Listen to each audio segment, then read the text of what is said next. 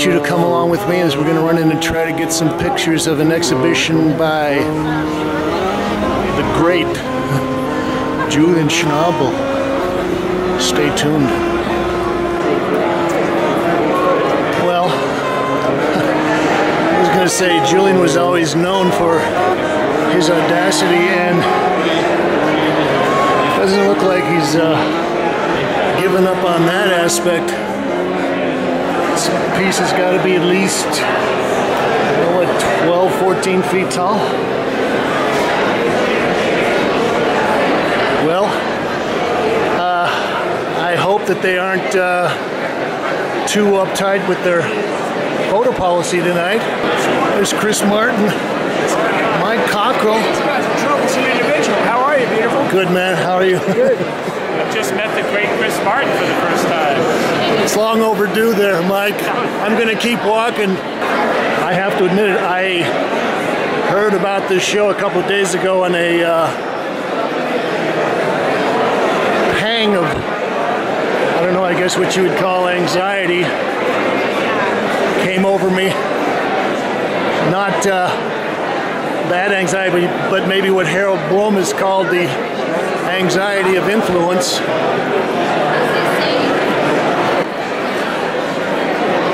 I was a uh, young artist who had just moved to New York from Idaho, and I was going to the Art Students League, which little did I know was like saying you you went to art school in a van down by the river. Anyway, I had heard about Soho, but I'd never been there before, and I finally got a map and reconnoitered, figured out where Soho was, jumped on the subway.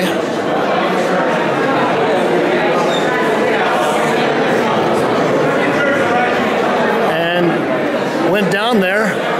I was wandering around, kind of looking for something like a gallery, and uh, walked into this little space uh, on Broadway, 420.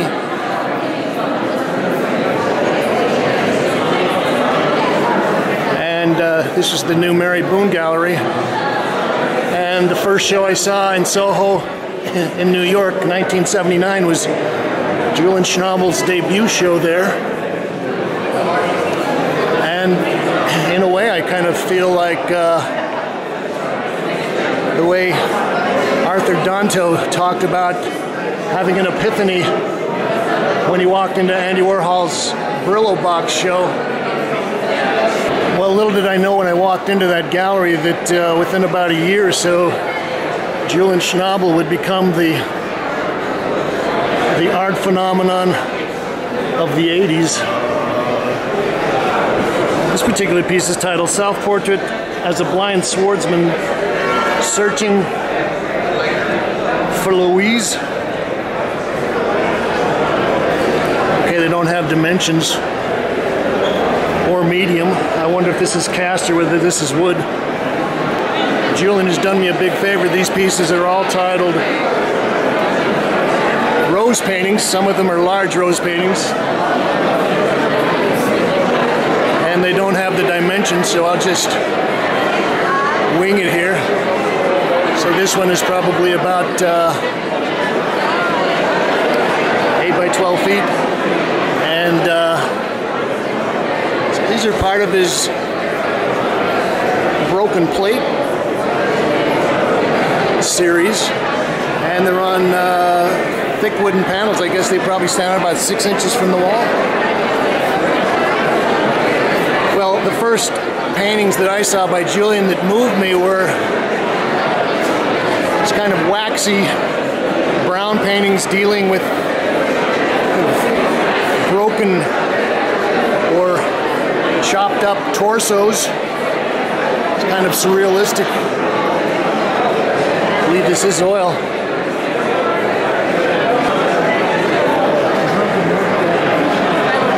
Just last week, we went in and saw an exhibition by Sandro Chia, who is also one of the one of the prime movers for neo-expressionism, or what other people have referred to as uh, the rediscovery of painting. Actually, uh, I kind of like the parts where the uh, the plates are coming through. They're not totally covered by the paint. You get a little chance to see materiality of these. Oh, gee, there's Julian right there.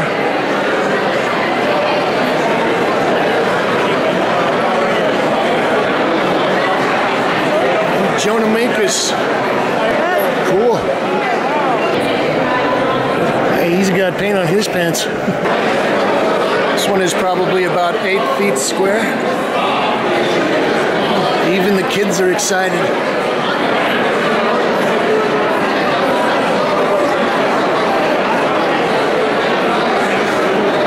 Uh, I was initially kind of looking at this and wondering, gee, where is this coming from? Normally we'd have some nasty figurative things happening or some kind of mythical imagery or weird surrealism. But now I, uh, maybe Julian is riffing a little bit on late Monet.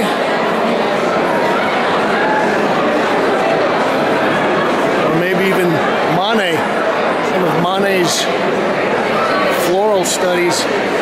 Chris Martin just informed me that uh, one of the reasons that these pieces are all based on roses at Van Gogh's grave is that Julian is working on a movie now about Van Gogh. So that explains it.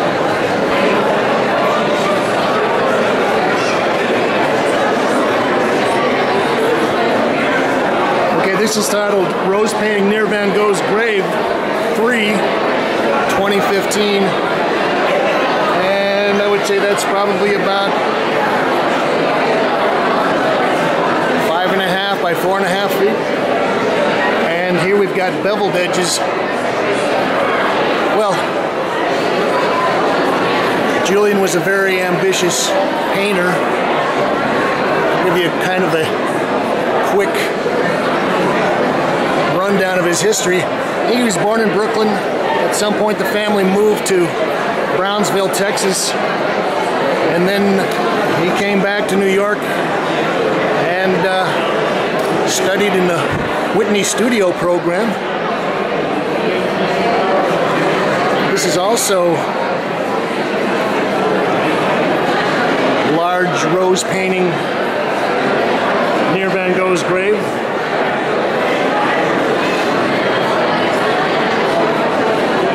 Number seven, 2016.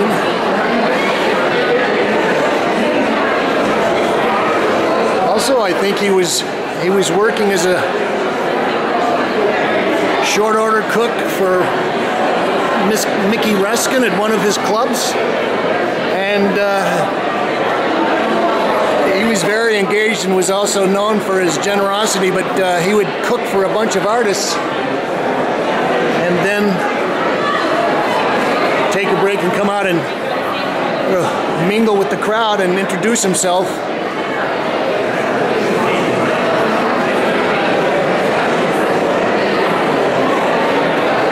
This is number 11, 2016, and I would say this is probably at least 8 by 8, maybe 8 by 10. Uh, as I'm looking at this piece, I kind of uh, was thinking that these have a whole kind of decorative quality that I haven't seen Julian kind of stretch out in before, and uh, in certain ways it almost makes me think of uh, Robert Zakanitch or Zakonich. Uh, maybe one of the most highly recognized painters in the pattern decorative movement. I think you could go back at one of the early Kalm reports and see a show that he did down at Werkstatt, uh, geez, 10 years ago. the art world was ready for a change. Minimalism and conceptualism and kinds of various intellectual uh, cul-de-sacs had kind of paralyzed a lot of the a lot of the art world. And uh, well, Julian was able to kind of provide the uh, what could I say the the heroic figure and. Uh, also, I think that he had spent some time in Europe and maybe had uh, assimilated that energy and the uh, kind of renewed interest in painting that was going on there.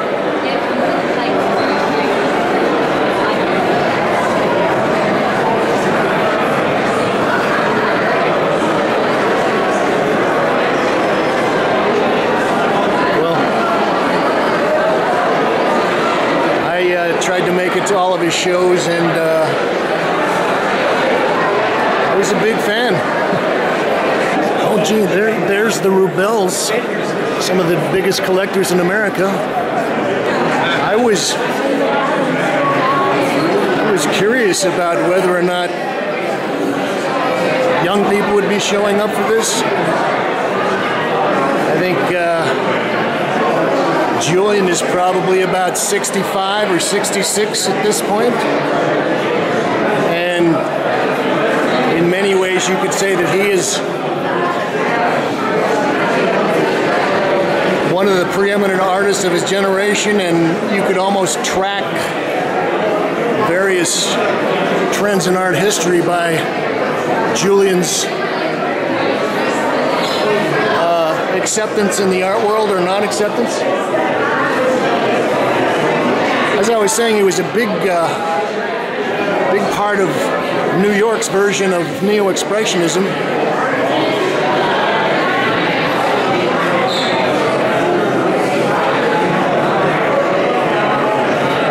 More big roses near Van Gogh's grave. But he also uh,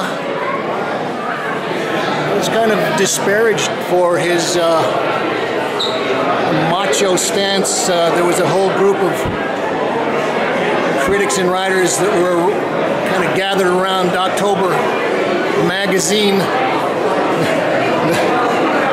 Painting jihad cadre, as I've referred to them before. And, uh, well, I guess because Julian was the most popular, most recognized artist at the time, he also was the focus of a lot of their ire, their nasty criticism.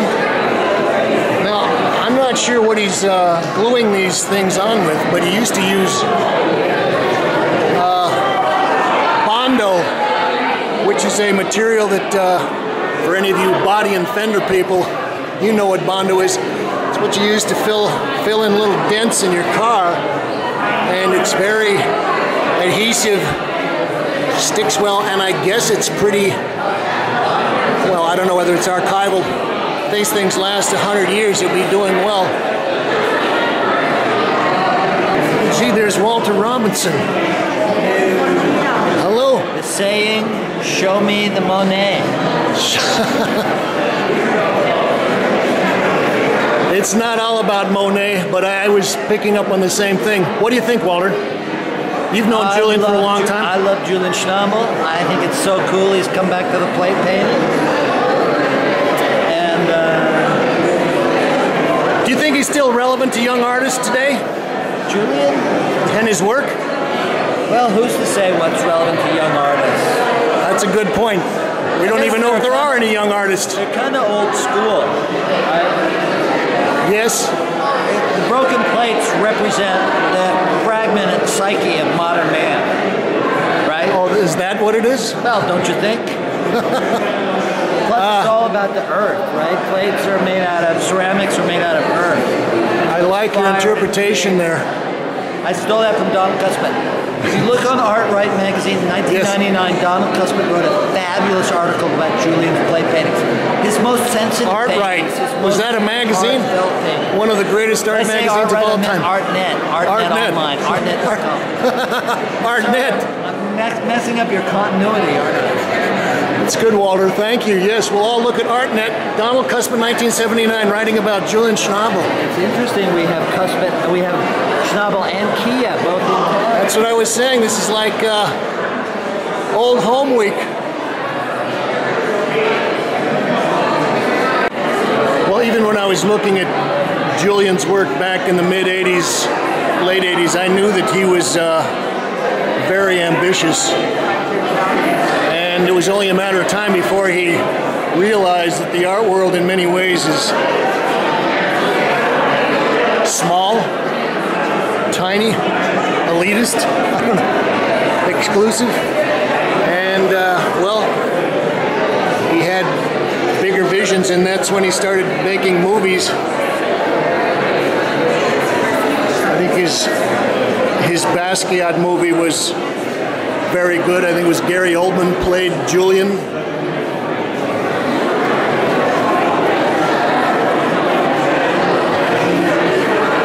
And uh, maybe he even uh, he got David Bowie in there to play Andy Warhol. Great movie. And he did a couple of other interesting movies. I think it was Before Sunsets was a nice piece about a uh, Butterfly and the Diving Bell, I think, was even nominated for an Academy Award.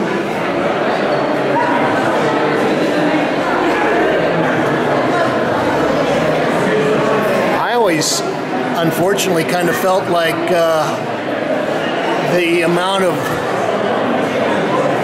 effort and attention that you would have to put into filmmaking, and it's not even in the directing, but in things like the editing and the financial ends of things, kind of uh, detracted his attention from serious painting. And uh, was a kind of a, for me, there was a drop off in the quality or maybe the the authenticity, the sincerity of the work uh, when he got into the film business. Uh, I asked Walter about whether or not Julian was still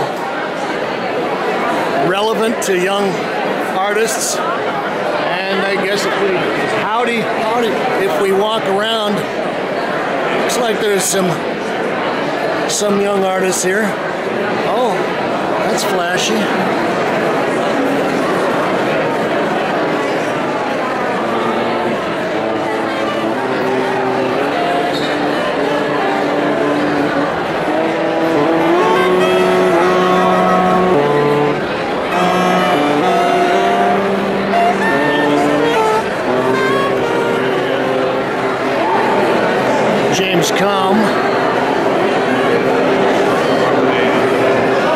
Bringing you along for a little tour of recent paintings by Julian Schnabel here at the Pace Gallery on 25th Street. Thank you, Kate.